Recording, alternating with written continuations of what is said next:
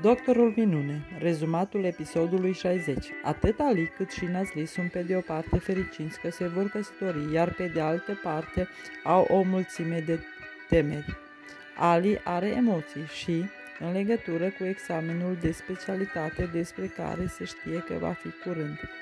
Tatăl lui Mușim are o tumoare pe creier și ajunge la spital. Este un bătrân conservator și e nemulțumit de faptul că fiul său este diferit. Întotdeauna l-a disprețuit și l-a umilit pe Mușim, a plecat de acasă și nu a mai vorbit cu el zeci de ani.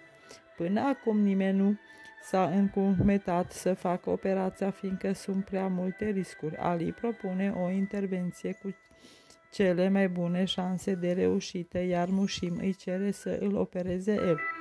Gulin observă că Mușim mănâncă multe dulciuri când este stresat și îi dă o ciocolată fără zahăr și îl sfătuiește să aibă mai multă grijă de sănătatea lui. Mușim îi spune că o place. Ali pleacă în timpul orelor de lucru să cumpere inelul de logonă. Doruc și Aselia îl însoțesc.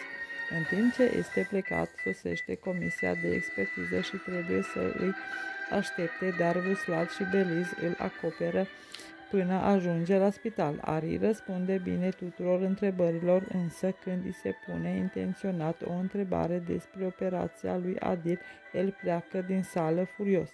Ferman îi convinge pe membrii comisiei că îl urmă, să îl urmărească în timpul unei operații. Următoarea zi, Ali realizează cu succes operația dificilă a tatălui lui Mushim, trece examenul și obține titlul de medic specialist. Ali o cere în căsătorie pe Nazli din nou, într-o atmosferă mai romantică.